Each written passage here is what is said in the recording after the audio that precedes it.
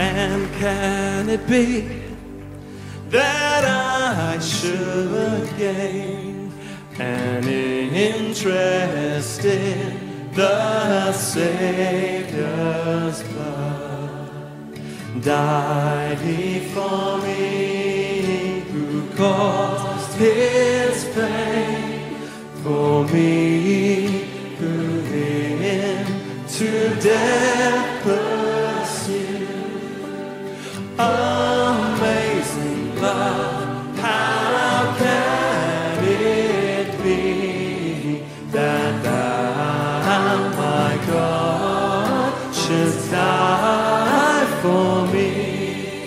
Amazing love, how can it be that my God, die for me? Tis mystery